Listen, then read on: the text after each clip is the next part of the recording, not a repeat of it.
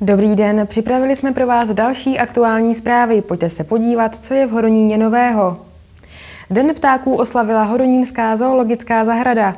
Jeden z druhů opeřenců, konkrétně sovy, dostal k tomuto svátku také pěkný dárek.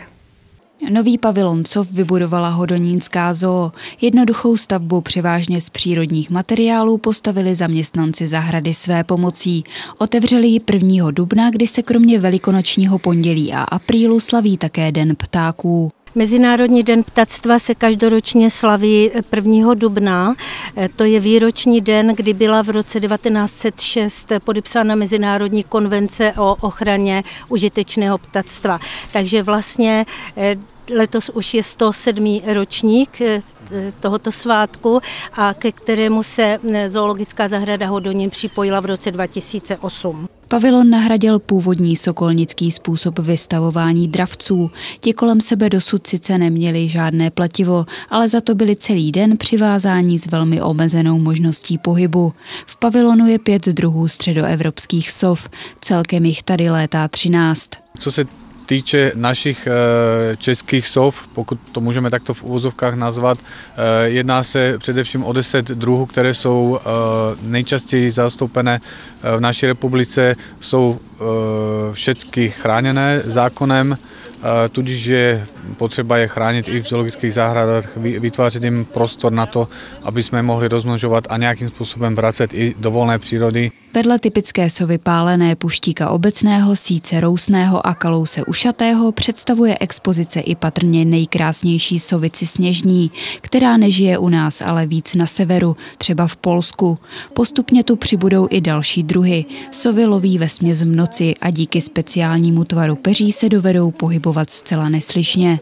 Také proto je lidé v minulosti spojovali hlavně se zlými kouzly a černou magií. Sovy uh, žijí někde kolem nás, ale často častokrát je lidi vůbec nevidí, neznají, jenom slyší třeba z bytu, třeba i tady v Hodoníně, v okolí, během jarních nebo letních měsíců, jak se ozývají v noci, všechno jsou to mláďata, které volají na své rodiče. Den ptáků ale nebyl jen o sovách. Návštěvníci si mohli pohladit káně, orlu skalnímu dali jméno Alex a v hlasování o nejkrásnějšího ptáka zvolili plameňáka růžového. Město Horonín podalo žádosti do několika grantových výzev, které vyhlásil Jihomoravský kraj.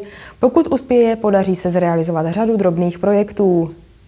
Širokou škálu oblastí zahrnují dotační fondy Jihomoravského kraje pro rok 2013. Díky pohotovosti pracovníků Městského úřadu v Hodoníně, kteří mají připravenou řadu projektů, může město čerpat z krajského rozpočtu 100 000 korun.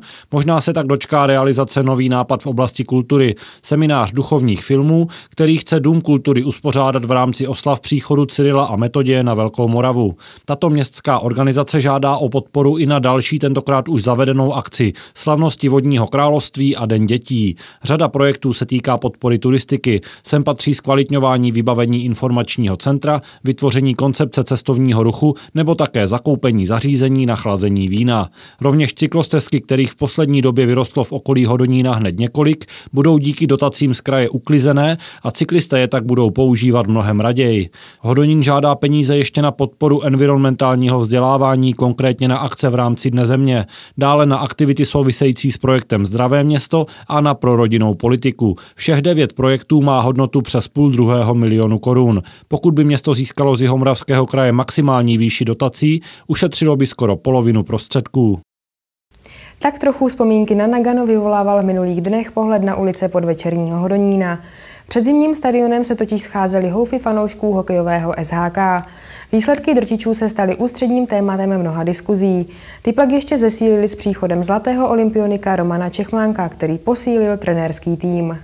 Oranžovo-modré dresy hokejových drtičů udávali po několik měsíců módní trend v Hodoníně.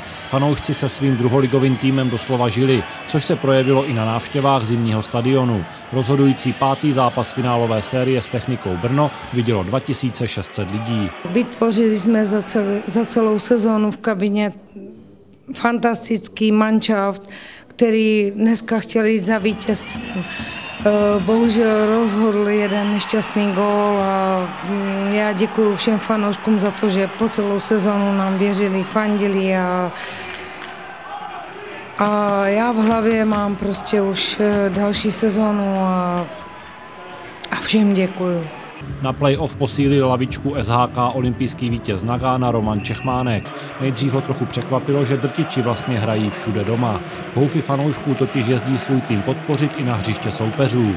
Už po pár zápasech mu ale bylo jasné, proč má tým takovou podporu diváků. Určitě jsme se snažili hrát eh, ofenzivní hokej, což, což eh, je těm klukům dané. V té ofenzivně byli velice dobří během sezóny, takže je vidět, že někteří jsou technicky na tom velice dobře a, a když se podívám na, na, na ty celkově na to playoff, tak, tak ty zápasy opravdu byly některé hodně vyrovnané a, a bylo to samozřejmě i o té bojovnosti, ale, ale říkám, my jsme my těch takových těch uh, hráčů, kteří jsou schopni přejít jednoho hráče jeden na jednoho a udělat kličku, tak jsme měli uh, si myslím víc, jak uh, většinou soupeři. Přestože hokejistům baníku nevyšlo finále play-off, ve kterém podlehli technice Brno 3-2 na zápasy, pro fanoušky jsou hrdiny. Jasně to ukázala situace po vyřazovací brance, kdy se po chvíli ticha opět rozburácelo stadionem mohutné skandování.